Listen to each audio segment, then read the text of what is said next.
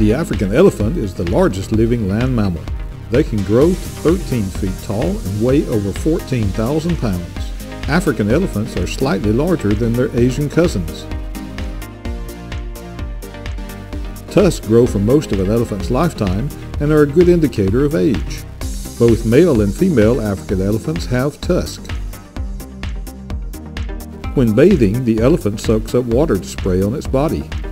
Then they spray dirt and mud on the wet coat, which will dry and act as a sunscreen. The elephant's very large ears are used to radiate excess heat away from the body. The ears even look like the continent of Africa.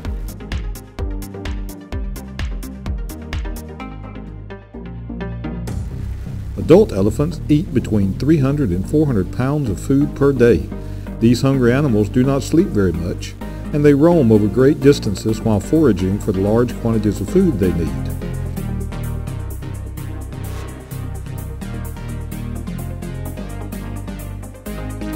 Elephants are extremely intelligent animals and have memories that span over many years.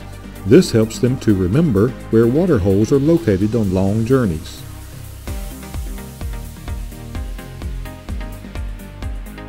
An elephant's trunk is actually a large nose, used for smelling, breathing, trumpeting, drinking, and also for grabbing things, especially a potential meal.